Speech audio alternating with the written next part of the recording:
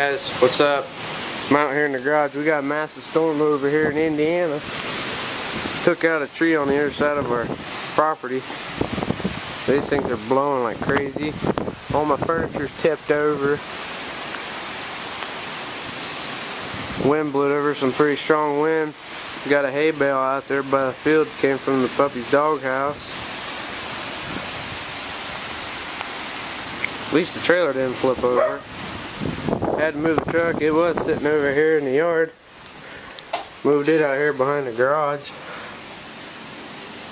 Got some shingles up. Slipped up on the roof, so now we gotta do the roof and at least I got a tree to cut up though. There's the tree that fell over. There was five of them. Now there's gonna be four. Well, actually, there was four and a half because the top uh, that one's gone already. So, yep. Luckily the trees out front didn't fall over because they would have hit the house. Had some wood, scrap wood out there. It flipped clear over out into the field.